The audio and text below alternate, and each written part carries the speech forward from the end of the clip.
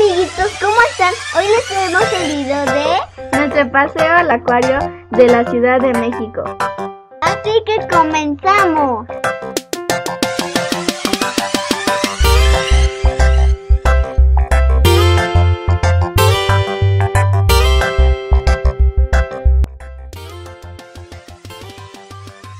Este hermoso acuario se encuentra en la Ciudad de México, en la zona de Polanco. Para poder ingresar hay que hacer una fila de espera de algunos minutos. Una vez dentro, descenderemos para poder disfrutar de este gran espectáculo.